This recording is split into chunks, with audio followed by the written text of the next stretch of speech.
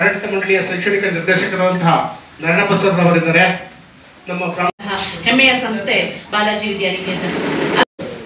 P U C degree pharmacy ಎಲ್ಲ ಕಾಲೇಜ್ಗಳು ಪ್ರಾರಂಭ ಆಗಿ ಸುಮಾರು ಐವತ್ತು ವರ್ಷಗಳನ್ನು ದಾಟಿ ಸಂಸ್ಥೆ ನಡೀತಾ ಬಂದಿದೆ.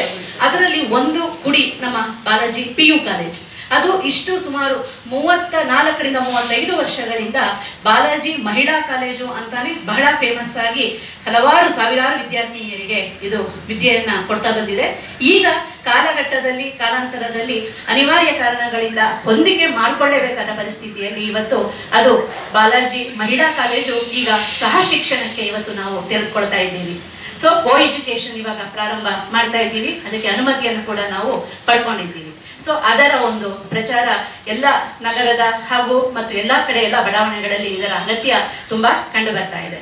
ಸೊ ಬದಲಾದ ಸ್ಥಿತಿಯಲ್ಲಿ ಈ ಗೋ ಎಜುಕೇಶನ್ಗೆ ನಮ್ಮ ಸಂಸ್ಥೆಯ ಪರವಾಗಿ ನಾವು ಮಾಧ್ಯಮದ ಮುಖಾಂತರ ಪತ್ರಿಕಾ ಸಹ ಮಿತ್ರರನ್ನ ನಾನು ಕೇಳ್ಕೊಳ್ತಾ ಇದ್ದೆ.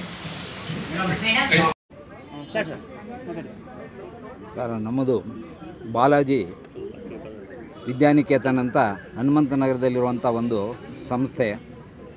ಇದು ನಾವು ಸಾವಿರದ ಒಂಬೈನೂರ ಅರವತ್ತ್ನಾಲ್ಕರಲ್ಲಿ ಪ್ರಾರಂಭ ಮಾಡಿ ಕನ್ನಡ ಮಾಧ್ಯಮದಲ್ಲಿ ಶಾಲೆಯನ್ನು ನಡೆಸುತ್ತಾ ಬಂದು, ಈಗ ನಮ್ಮ ಶಾಲೆಯಲ್ಲಿ ಎಸ್ ಎಲ್ ಸಿಯಿಂದ ಉತ್ತೀರ್ಣರಾದಂಥ ಮಕ್ಕಳಿಗೆ ಪದವಿಪುರ ಕಾಲೇಜಿನಲ್ಲಿ ಪ್ರವೇಶ ಪಡೆಯಲು ಬೇರೆ ಕಾಲೇಜುಗಳಲ್ಲಿ ತೊಂದರೆ ಆಗ್ತಿದೆ ಅಂತ ಹೇಳಿ ಮನವಿ ಮಾಡಿಕೊಂಡಿದ್ದರಿಂದ ಪೋಷಕರ ಮನವಿ ಮೇರೆಗೆ ಸಾವಿರದ ಒಂಬೈನೂರ ಎಂಬತ್ತೈದರಲ್ಲಿ ನಾವು ಬಾಲಾಜಿ ಪದವಿಪೂರ್ವ ಕಾಲೇಜನ್ನು ಸ್ಥಾಪನೆ ಮಾಡಿದ್ವಿ. ಅದು ಬರೀ ಮಹಿಳೆಯರಿಗಾಗಿ ಅಂದರೆ ಬಾಲಕಿಯರಿಗಾಗಿ ನಾವು ಪ್ರಾರಂಭ ಮಾಡಿದ್ವಿ.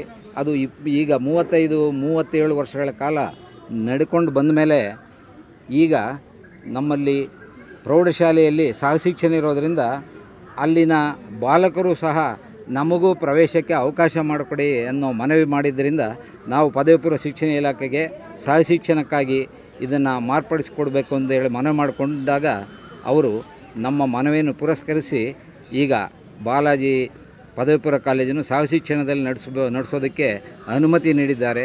ಈ ಅನುಮತಿ ಬಂದಿದ್ದು ಸ್ವಲ್ಪ ತಡವಾಗಿದ್ದರಿಂದ ಈ ಪತ್ರಿಕಾ ಗೋಷ್ಠಿಯಲ್ಲಿ ನಾವು ಈಗ ಇದನ್ನು ಹೇಳ್ತಾ ಇದ್ದೀವಿ. ದಯವಿಟ್ಟು ಈ ಇನ್ನೂ ಬೇರೆ ಕಡೆ ಪ್ರವೇಶ ಪಡೆದಿರು, ಪಡೆಯದೇ ಇರುವಂಥ ಮಕ್ಕಳು ನಮ್ಮ ಕಾಲೇಜಿಗೆ ಬಂದು ಪ್ರವೇಶ ಪಡೆಯಬೇಕಾಗಿ ನಾವು ಮನ ಮಾಡ್ಕೊಳ್ತಾ ಇದ್ದೀವಿ. ನಾನು ನಾನು ನಾರಾಯಣಪ್ಪ ಅಂತ ಈ ಬಾಲಾಜಿ ವಿದ್ಯಾನಿಕೇತನ ಜಂಟಿ ಕಾರ್ಯದರ್ಶಿ.